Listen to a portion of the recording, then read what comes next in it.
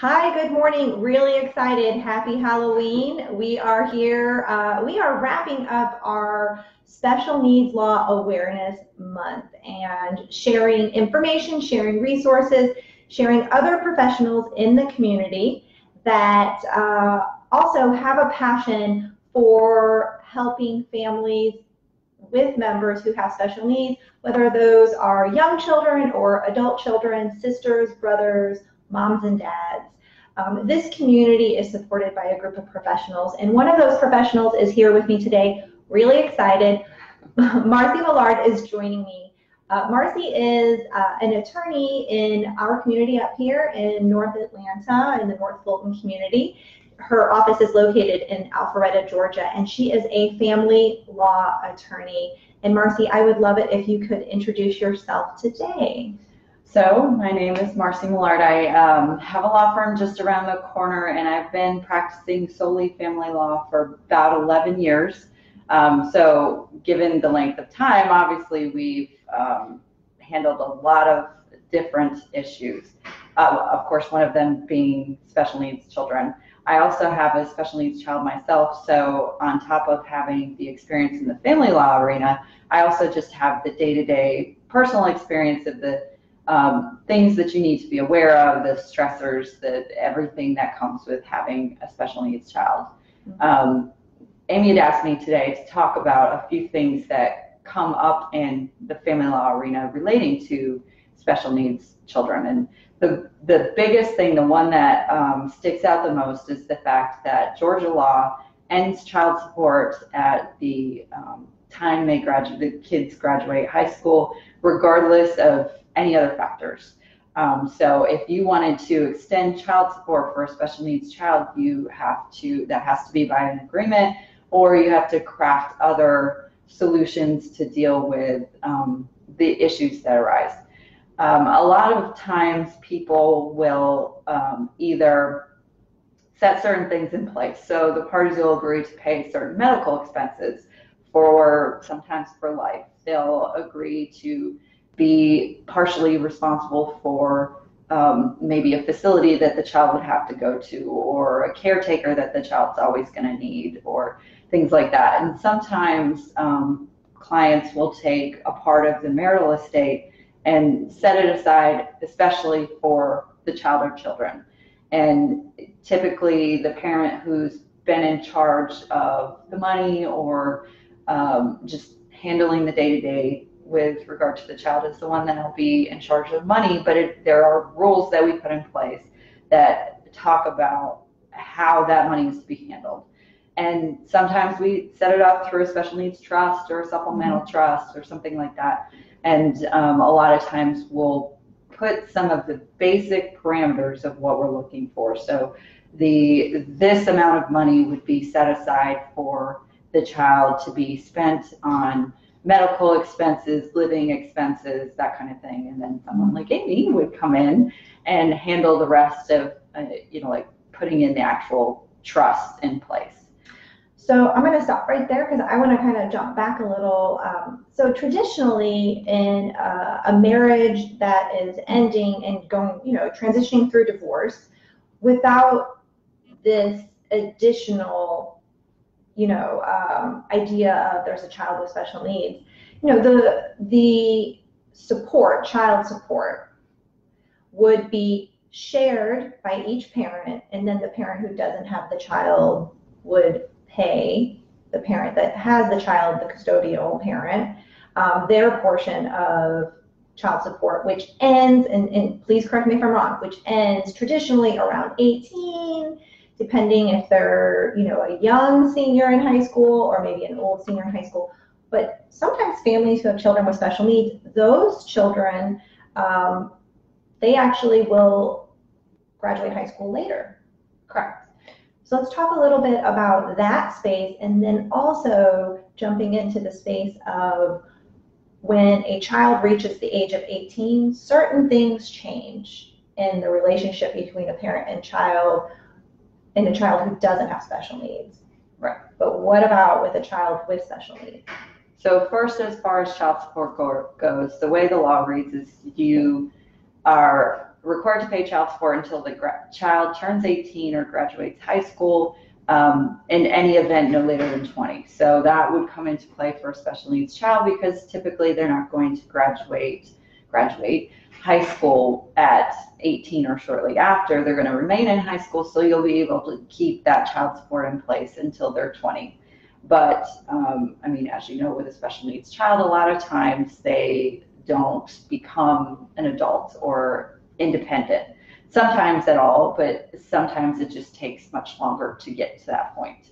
So um, we do try to account for that. And some of the things that you might want to address that not everybody thinks to address would be maybe a guardianship and how that's going to be handled or who's going to be the guardian. Or a lot of times what we've done is uh, when there's a dispute. So a lot of times it's not uncommon to say you know whoever's been handling it up to this point will be the guardian. The parties agree to that. But sometimes there's a dispute just because there's a dispute or because both parents have been handling it so we might say they're co-guardians and these are the rules in place, or there there's one guardian and the other parent still gets to be involved in decisions relating to X, Y, Z, and this is how they resolve things going forward. But unless you put it in that agreement at the time of the divorce, it makes it much more difficult to resolve it going forward. So we do try to think of as many of the issues as possible with regard to special needs so we can put them in the agreement while everybody's dealing with everything at the same time. So if you say have a husband and wife, they're working through um, a divorce and they're negotiating all these other things, like the obvious thing that's in front of them, which right now is the money, right? Many times in a divorce, that's sort of a center, you know, a centerpiece of what's happening. Um, the child's only 10 you actually try to get the parents to sit down and think, hey, this child is not going to be 10 forever. Their child's going to reach the age of majority, which in the state of Georgia, right, will allow them to be legally independent of you, and you won't have that legal um, ability to make decisions for them. And you're going to have to think now about, hey, this is this is coming. And so rather than just finish the divorce, wrap it up, and try not to create, you know, more obstacles to finalizing the divorce, which many times is what, you know, I hear some from some of my families, you know, you really try to tackle that while they're still sitting at the table. Right. Because so, if they wait until that child is of age or about to reach that age, there could be potentially more issues take longer to resolve. Right. Well, um, so as divorce attorneys, probably most attorneys, we're really good at the what if game. So we mm-hmm. try, we have to plan ahead for kids and for retirement and all sorts of other things, just in general going forward. Um, but as far as um, as far as uh, planning for the future goes, you know, we just want to make sure that we address all of the issues that we can think of. So the what if game we play, we play a lot and try and plan as far in the future as we can. Mm-hmm. Yeah.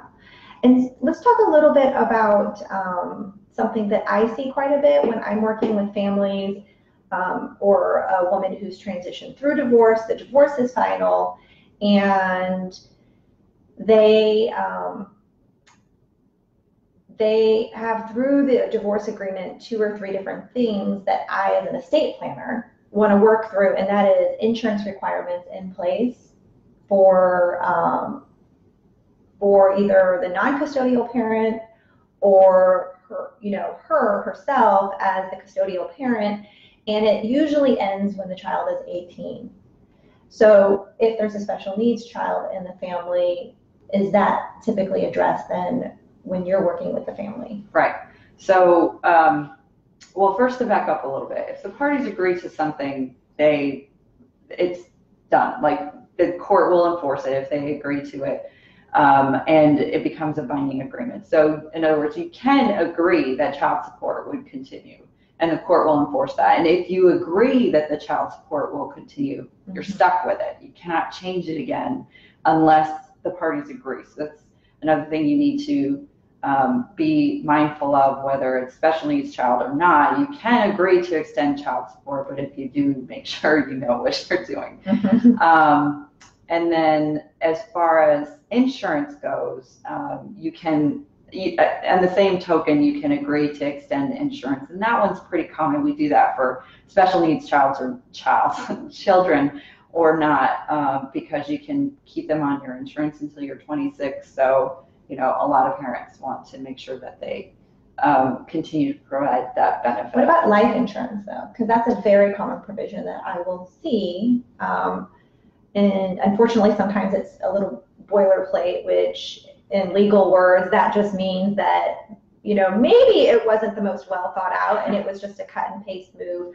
Um, I'm imagining that you really try to think through that in life insurance requirement and not using those kinds of provisions um, for families, most especially with special needs children. Correct. Um, so a lot of times with special needs kids, like I said, you want to set up a trust or something else. So Mhm. we would draft the life insurance to be paid into that or, you know, maybe half and half if there are two kids or something along those lines. But yes, uh, thanks to Amy and lots of other wills attorneys that I've known, for years, we have, um, we make sure not to keep that boilerplate language in there because you have explained how that is such a pain to try and fix to go back and undo. So, Yeah. yeah. Well, and I think it's a wonderful provision, boilerplate or not. Let's let's be real. It's a wonderful provision to make sure that children are taken care of.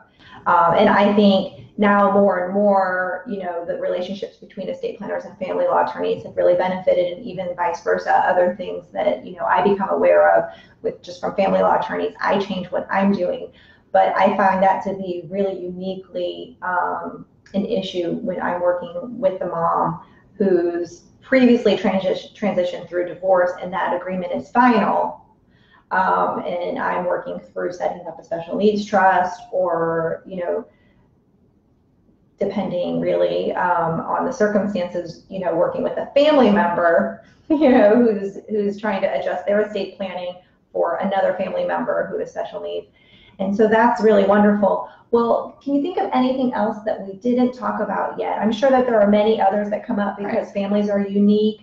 Um, and, you know, families with special needs children, you know, they, they have very unique um, opportunities in divorce to work through issues. Can you think of anything that I haven't hit on that may be a common occurrence?